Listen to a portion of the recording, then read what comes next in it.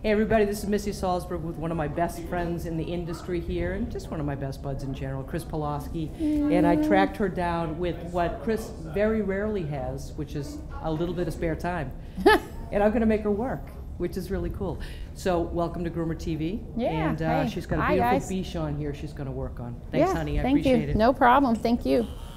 All right, guys. Um, this is a typical pet. He actually is a rescue dog. Um, started out in my salon with a 7F special, only because I had no other choice. And with regular care and maintenance, we have a dog that has lots of hair and not doesn't look too shabby. So what I'm going to do is I'm going to quickly outline this guy. I've got a um, 5/8 universal comb on a, I believe a 10 or a 15 blade, okay? Let's take a look just so you know. Oh, excuse me, I lied, that's a 30 blade. Um, most of your metal universal combs work great on either a 30, 15, or a 10. So this happens to be the 30.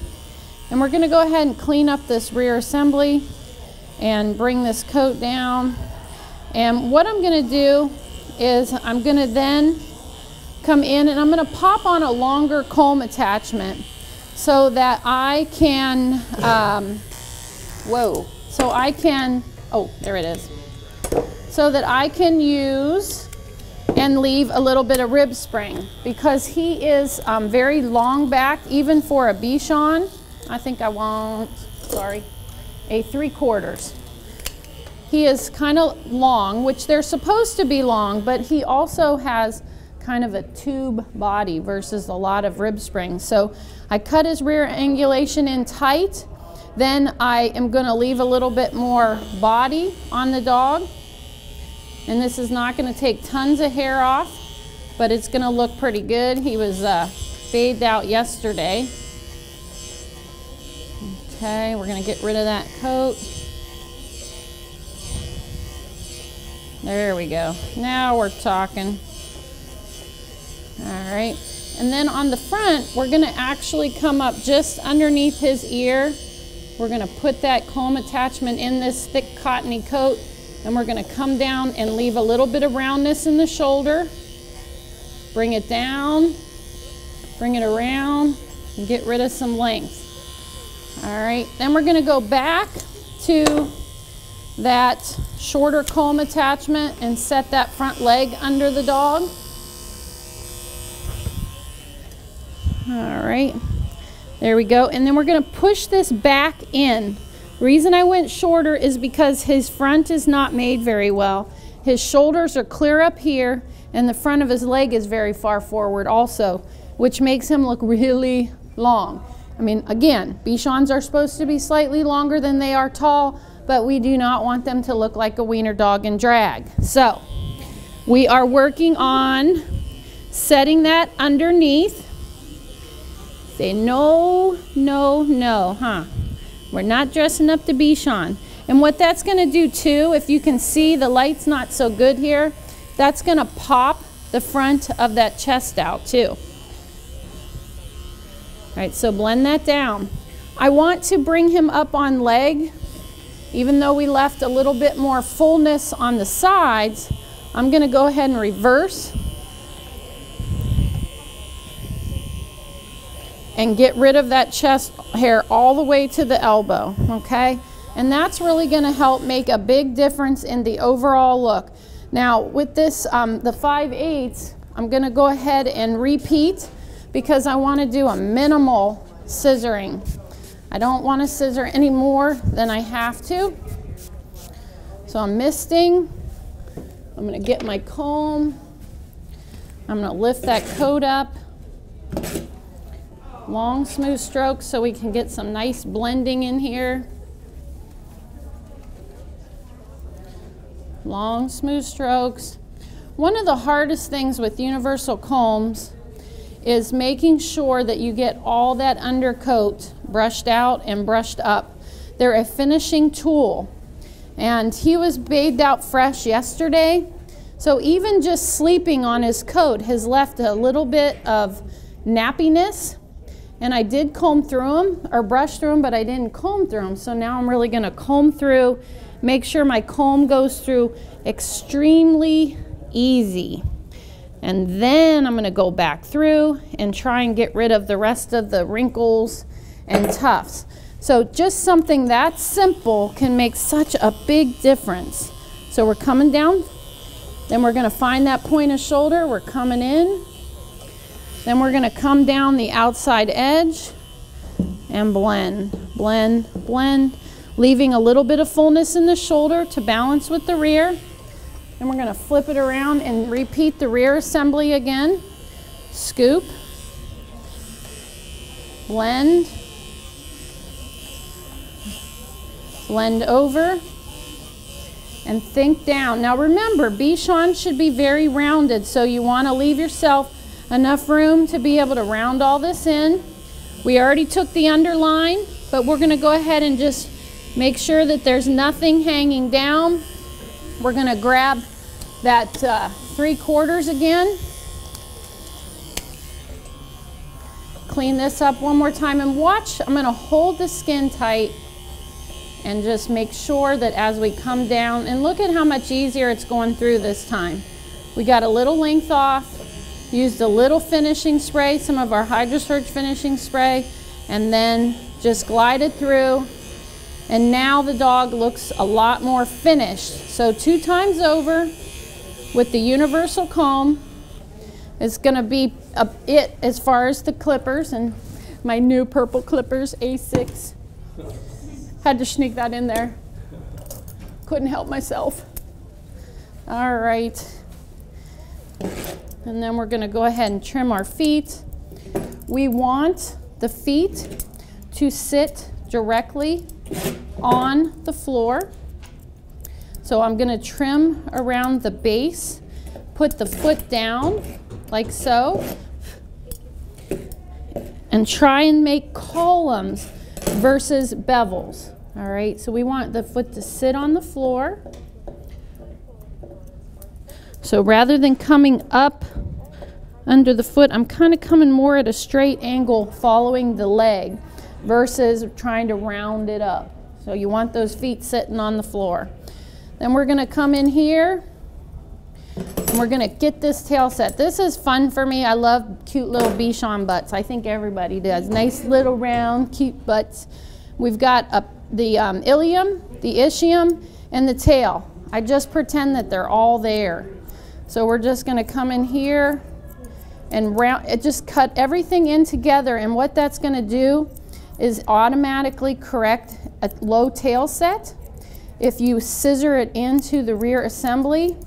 And remember, again, Bichons are rounded. Everything is rounded with the Bichon. So you want, you want to show angulation without showing sharpness. All right. In the perfect world, their coats are approximately one inch. All, you know, but in reality, none of them are made the same. So you can tweak things according to does your customer brush the dog? Does he have a good top line? Does he have enough neck? A lot of them do not have enough neck, so you know those would be reasons to take a little bit tighter in the neck area. He's very long. I left fullness here to make him look wider. Took this shorter to bring him up a little bit. Um, you know, I'm trying to keep him slightly longer than tall, but again, I don't want him to look like a freight train. So we're going to comb this up and then just clean up the edges. You can see this is shorter on the top line here to give him more neck. Round it in.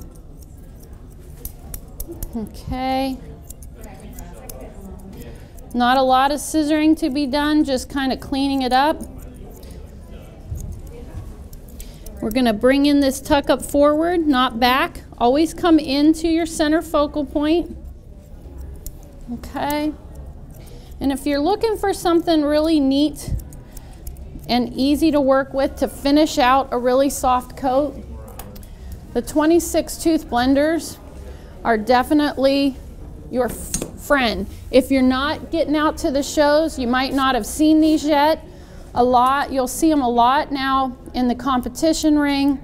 But what these guys do is they will take any lumps and bumps that might be left behind by a clipper blade, a universal comb, or what have you, and they will work all that right out of the coat. Look how pretty that looks. Does that look good?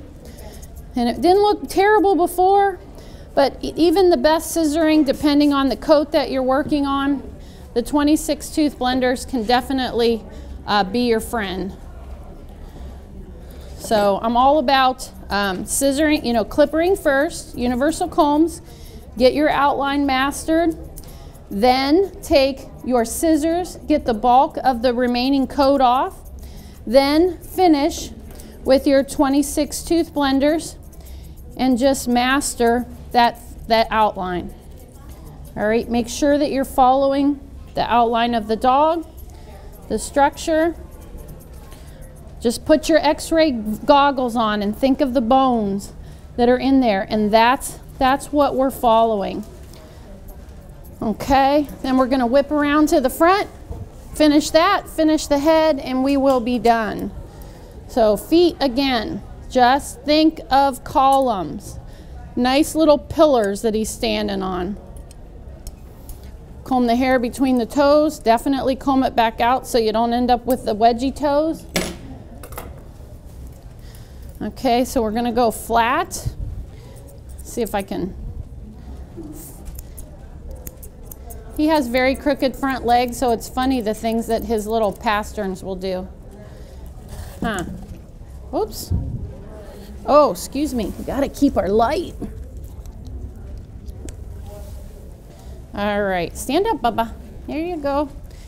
Okay. And we're to trim like so. Like so. Keep that nice on the ground, setting on the ground just like the back. Comb this up, long smooth strokes. Long, smooth strokes.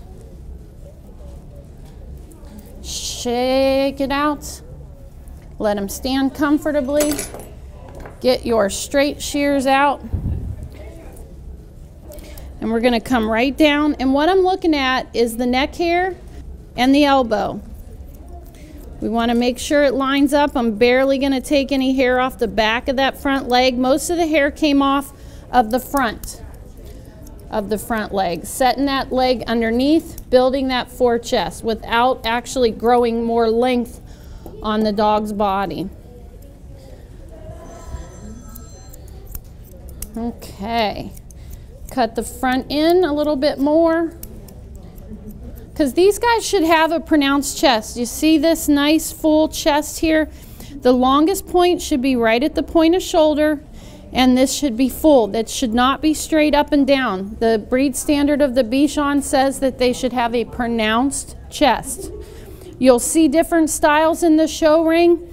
A lot of times they will manipulate the breed standard to suit the dog that they're working on. Um, a lot of times these guys might have um, they too tall, too long backed, and that's their way of trying to fix it. All right.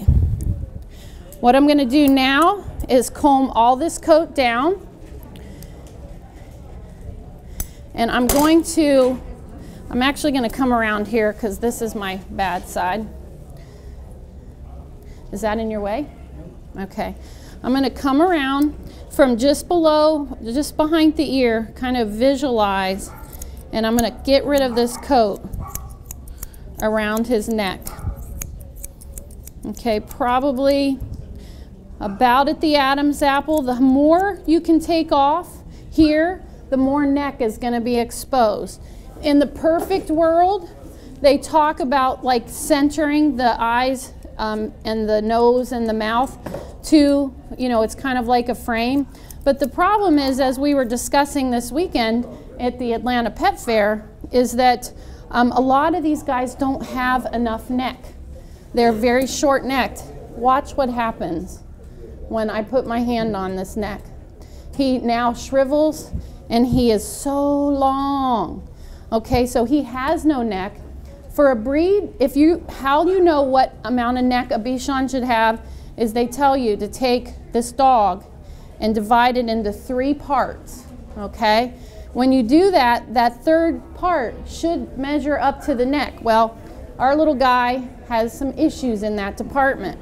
So not only are we going to build neck, but we are now going to change and we're going to work on about one third here and try and build two thirds here. Okay, and that was something you know that we were talking about. It's a trend in the breed right now. They're trying to really show off that neck. So you're seeing more of that in the breed ring than um, you used to. It's less center. Now, if you have the perfect dog that has so much neck, then you can do whatever you want. But most of the dogs that you and I see in the grooming shop, not the case, okay? We get all the leftovers. Once I get that marked out underneath, I'm gonna comb everything down. We're gonna take little Jasper here and we're gonna clean up his ear, let it hang. Don't try and over manipulate it because if you start pulling and tugging too much, it's going to change when he pops his ears out.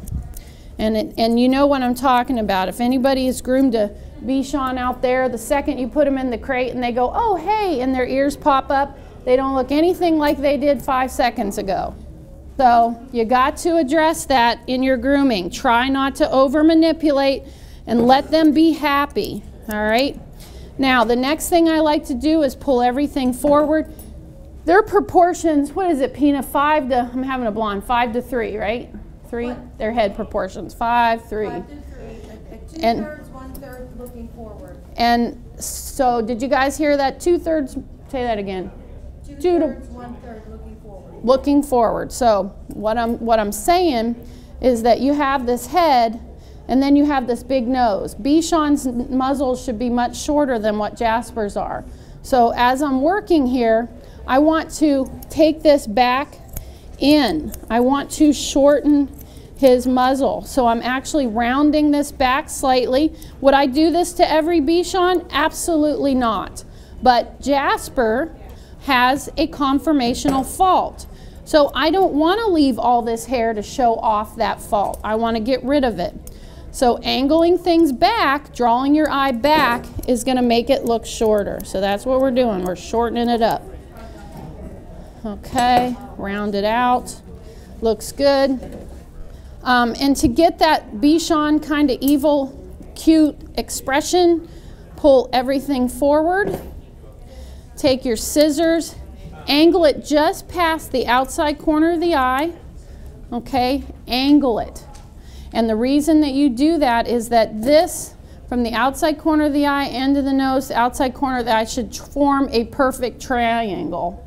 His does not, but we're going to do our best to create it. Then you're going to do a little bit of trimming and put an exverted V in here. You can use blending shears, you can use clippers, whatever you need to do. Just be careful not to take too much coat out. I don't want to draw attention to his face. Then pull this back, get your eyelashes pulled out, and get rid of them. Okay? That's going to open up that eye. Then pull back over and then just work it up and around. And what you're going to do is then continue to comb all this coat forward and use it to build this head. You see this stuff hanging over? We're going to get rid of that. He um, had part of his head done yesterday, so there's not a lot coming out. We're going to pull this forward some more, see if I can find anything else. And remember to include the ears. Don't pull the ears away from the head. Make sure that you include them. Okay, you're going to include them. There you go. Not taking a lot off. Whatever you got here is what you are going to use to set that line. And guys, you know, Jasper's a great boy. He's very sweet, but he is not a, a, you know, a conformationally a great Bichon. But the thing is, if you put hair in the right place, if you maintain the coats, you can take a pretty common looking dog and make him look pretty stinking cute. Now, one of the things that we talked about yesterday, he's a pet customer, so I have to watch leaving too much here. But something, if you really wanted to complement this structure, is if you could leave a little bit more here it would shorten the muzzle more, okay? But for um, the fact that he's one of my pet dogs and it, his owner doesn't like too much coat in the eyes, we've, we've maintained expression, but we haven't done all the corrections that we could have done. Okay? The last thing I'm going to tell you is never lift the ear. If you want to search for hair, any additional coat, just lift the coat up like so. Give it a little shake. Let that ear fall back into place. And then just make sure that you've cleaned up anything around the edge. And I'd like to, it's kind of like a half circle. You're just going to round it out. And you should end up with a pretty cute round head. What do you guys think? Good? All right. Thank you.